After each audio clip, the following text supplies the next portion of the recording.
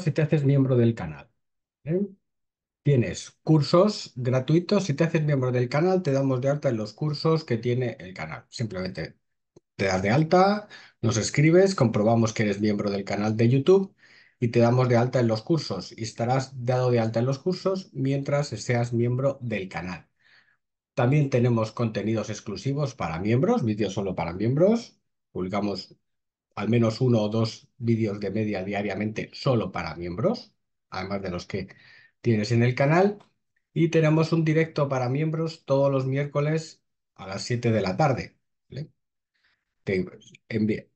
a los miembros os indicamos dónde os tenéis que conectar. Es una reunión por Zoom que dura aproximadamente 40 minutos, todos los miércoles a las 7. Cursos, vídeos exclusivos y directo para los miembros a las 7 de la tarde los miércoles. Y ojo, puedes preguntar todo lo que quieras. Así que, ¿a qué esperas? Ahora el vídeo.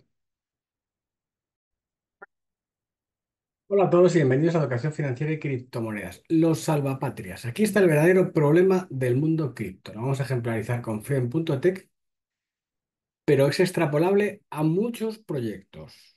Llámase IOTA y empezamos a ver Ethereum en ese canal. Fijaos, Frame.tech caída del 95% del precio desde que salió, ha caído un 95%, ahora está en 0.08. Eh, bueno, se ve a venir, en circulación son 10 millones de tokens. Em, ¿por qué se ve a venir? Pues vamos a ver. Para nosotros, uno de los problemas principales es la hoja de ruta y los objetivos claros. El proyecto tiene que tener una hoja de ruta clara y unos objetivos claros, ni más ni menos, ¿vale? Decisión del equipo de Frentec desplomó el precio del token 26%. Transfirió el control de algunos contratos inteligentes a una dirección nula, algo que no se puede revertir. Se desplomó desde que su equipo transfirió la administración y propiedad de sus contratos a, una, a la dirección nula de Ethereum, renunciando permanentemente a cualquier control sobre ellos. Se hizo para prevenir cualquier cambio de sus tarifas o funcionalidades en el futuro. ¿Vale? Bueno. El token cayó y se fue, ahora está en 0.08. La dirección de una de Ethereum es una dirección de quema destinada a la destrucción intencional de los tokens y todo lo que se envía a ella se pierde irrevocablemente. No hay forma de recuperar o reutilizar los tokens de esa dirección. Un desarrollador del protocolo de reputación en blockchain publicó en X que la acción de Fred.t fue el fin de una era y que no pasó como, sucedería. El cambio en el contrato inteligente ocurre tres meses después de que Fren anunciara su propia blockchain, FriendChain. ¿Vale? O sea, es decir, el proyecto, de repente, vamos a hacer frente. tenemos base, tenemos Ethereum, pero vamos a hacer la FriendChain. La cuenta de X luego eliminó su publicación, lo que aumentó la confusión. Eliminó la publicación y ya no está.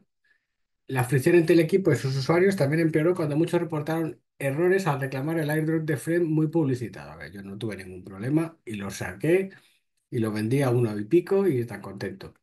El token acumuló 233 millones de los cuatro primeros días y ahora está, pues ahora está en uno. En realidad son más porque estaríamos hablando que son 100 millones de, de tokens, ahora está en 8 millones, ¿vale? Las tarifas ganadas del protocolo han estado constantemente por debajo de los mil dólares desde finales de junio. Esto es en DeFi Fijaos. Frente es un protocolo de base, solución de capa 2 de Ethereum y permite a los creadores monetizar su contenido a través de acciones tokenizadas claves. plataformas rivales y demás. Nosotros tenemos un canal dentro de Friend que ya no se mueve desde hace mucho tiempo. Hay 13, 14, 15 usuarios y ya está. ¿Por qué sacamos esto? Porque el principal problema de todos los proyectos cripto son su grupo de desarrollador y sus objetivos claros y los cambios que hace. Entonces, como que está desarrollando software y, va un poco a bandazos a medida que la gente va haciendo cosas y a medida que llega competencia, pues lo normal es que el 99% se cargue el puto proyecto. Y además, muchas veces hasta es incluso un poco premeditado. Tú sales aquí, lo tiras aquí abajo, aquí recompras los tokens, que ahora los 100 millones de, tokens cuestan 8 millones, incluso lo puedes bajar más y que a lo mejor lleguen a costar 6, 7, 8 millones y ya está. O sea, te has forrado, has vendido el proyecto a un dólar o a dos dólares, lo has recomprado, has vendido a uno y medio, lo has recomprado a 0.10, al 95% de caída, y, tiene, y te has forrado. O sea, para nosotros es absolutamente lamentable. ¿Qué otros proyectos hemos visto? IOTA. Cambios, el equipo de desarrollo llega a un acuerdo, pum, pum, te cambian el modelo a tomar por culo. Y tampoco te consultan. tampoco te consultan. De un día para otro se monta la historia. Ethereum, pues cada vez hace cosas más raras. la actualización no sé qué para bajar las comisiones. Vale, de puta madre. Pues entonces, dime que Ethereum es para que se use, pero no para que la gente gane dinero con Ethereum. Porque si en lugar de pagar, si yo tengo aquí Ultrasound Money y tengo aquí uno o dos, ¿vale? Cinco way, vale, bueno. Pero es que llevamos, fijaos, desde el pasado 15, eh, 14 de abril hasta ahora, que han pasado casi abril, mayo, junio, julio, agosto, septiembre, prácticamente cinco meses, lo que ha hecho es crecer el número de Ethereum. Luego ya, los cada vez se queman menos. ¿Vale? Nosotros sacamos los últimos 30 días. Esto ya es prácticamente lineal. O sea, en 30 días hay 70.000 Ethereum. Luego, si tú quieres vivir del stacking de Ethereum, no vas a poder vivir. Antes eran 3-4%, pero ya ¿cuánto se reparte? Muy poco. O sea, se está quemando, fijaos, se quema el 10% de lo que se genera. Entonces, estamos fastidiadísimos. Es decir, no interesa. No interesa. O sea, ya no interesa. Estamos hablando de que esto ya no interesa. A ver, evidentemente es, si fuera proof of stake, ese, proof of work sería mucho más, pero bueno, de lo que nos prometieron a lo que hay, eso es el fastidio. Entonces, nuestro punto de vista es que el equipo se carga el proyecto. ¿A propósito? No, no lo sé. Entonces, ni objetivos claros, ni, ni propósitos claros y lo van cambiando y al final a, todo el, grupo le despista. Nosotros hemos sacado Katanu Bitcoin, ¿vale?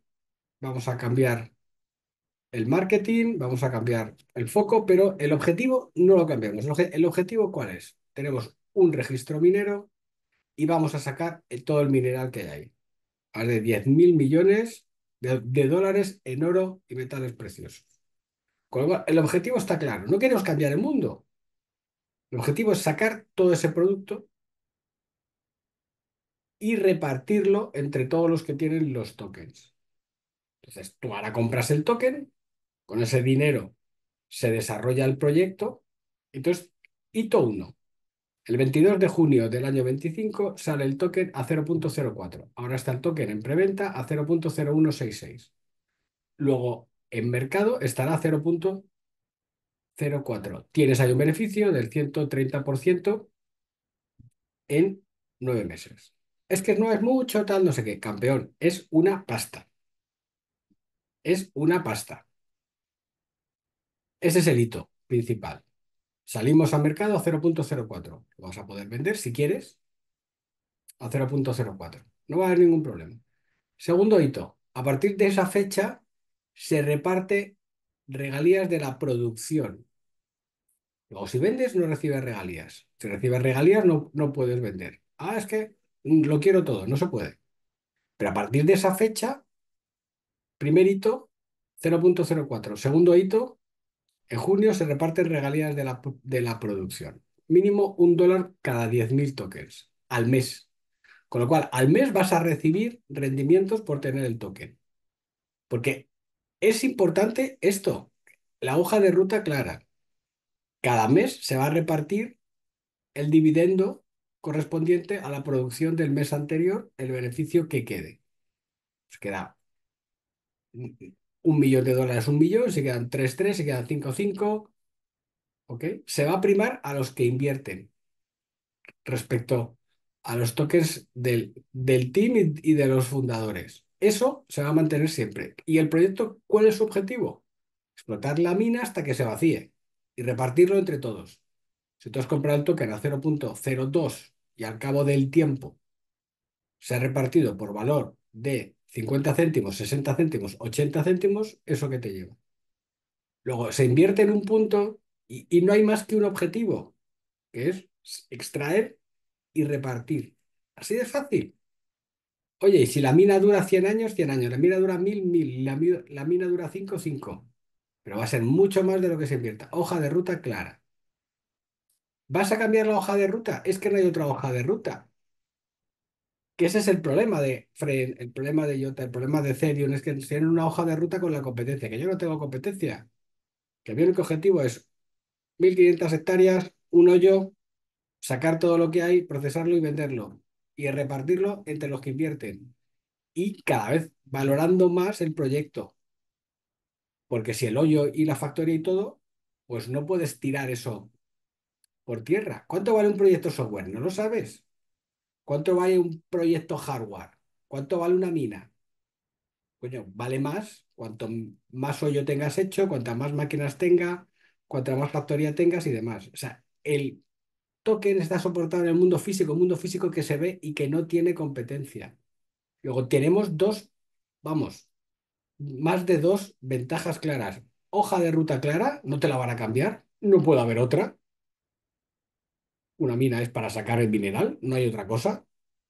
Vamos a hacer un parque temático allí.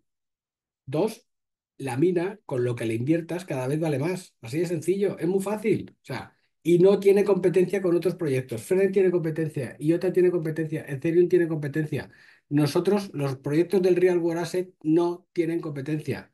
Así de fácil. Así que si te interesa, entras, te conectas, ¿vale? Y compras. ¿Cuál es el mínimo? Pues 50 dólares. Ya está. Conectas con tu monedero MetaMask y compras. Tan fácil como eso. Tan sencillo como eso. Puedes comprar en BNB, en Ethereum, ¿vale? O en USDT también. Tienes todos para comprar. Algo muy fácil y muy sencillito. Ese es el trabajo que tienes que hacer. Y una hoja de ruta clara que no te va a cambiar nadie. Nadie te va a cambiar la hoja de ruta porque en una mina no puede haber otra hoja de ruta. Igual que en un piso, la forma de, obtener rendimientos alquilándolo o vendiéndolo. No hay más. Ya está. Ese es el modelo, ¿vale? Y el modelo del mundo cripto se lo están cargando, ¿por qué? Porque cada vez hay más tipos, más desarrolladores y más grupos de iluminados que quieren cambiar el mundo. Y no se trata de eso, se trata de cambiar el mundo, pero haciendo que tus inversores ganen dinero, que ese es el objetivo. El nuestro es hacer dinero. No nos compliquemos la vida. Un abrazo y hasta siempre.